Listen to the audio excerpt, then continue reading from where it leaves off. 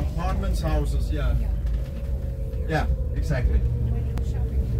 Uh, downtown Nuuk, mostly, but we also have some places in Nuussuaq. We have Agigi, which is a discount store. Uh, we also have some in Qinngorput, but we will, you will see them. Uh, the first stop we will be making is in Nuussuaq, and uh, you will be having the view of the, the private boat harbor, and also Nuuk Imeq, which is uh, tapping all the beers and the sodas that we are having here in Nuuk.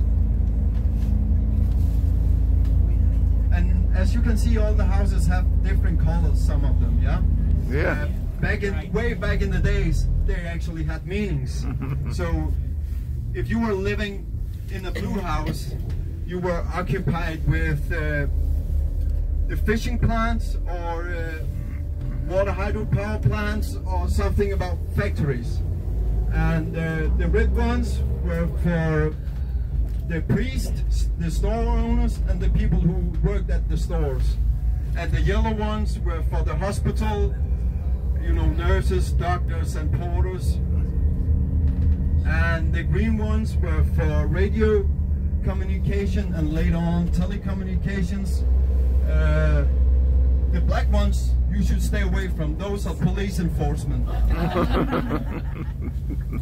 funny. Guess you had to change the color of the house every time you change your job. Maybe. Yeah, but now you, you can color the houses as you want. Yeah, but we like to main, maintain some of our traditions, so we still have a lot of those natural colors. And you couldn't color uh, it pink because you have to choose a natural color, uh, like, uh, for example,